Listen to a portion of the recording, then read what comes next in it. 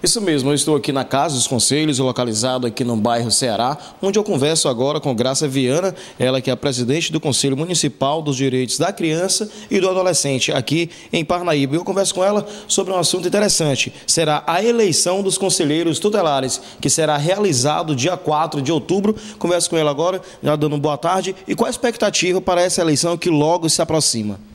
A eleição é, é uma data é um, uma data histórica na todo o nosso país, né? É a primeira vez que o Conselho Tutelar é eleito para a própria população, sabe? É a eleição unificada. O que vai acontecer aqui na Parnaíba vai acontecer lá na última cidade do nosso país, sabe?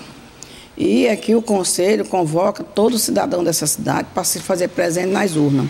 A eleição não é obrigatório o eleitor ir, mas o eleitor precisa do serviço do serviço do Conselho Tutelar. E para isso ele precisa ir para ele votar. Nós temos 10 candidatos, candidatos estes que passaram por teste de, de, de escrita, de, de conhecimento, né? E, e estão aí para que a população escolha o que achar melhor, o que melhor lhe, ele confiar, porque todo mundo tem as suas afinidades. E o Conselho Municipal, do qual eu estou presidindo, ainda estou presidindo, ele é o conselho que puxa essa eleição, sabe?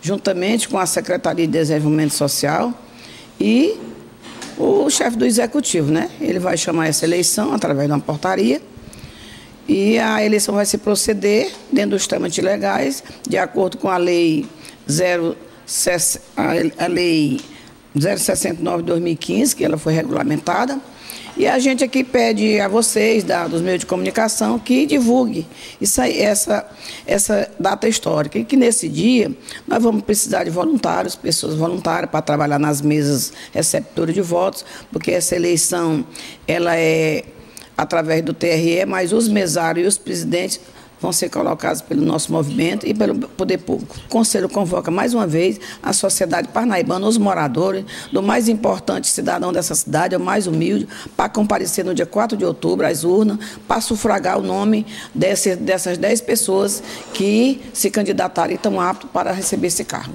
Ok, obrigado, dona Graça. Então, como ela bem falou, essa eleição, o, o eleitor não é obrigado a participar mas a sua presença dia 4 de outubro nas urnas é super importante para a decisão dos conselheiros tutelares que irão atuar em nossa cidade, aqui na cidade de Parnaíba. É imagem de José Machado, Eugen Silva para a TV Costa Norte.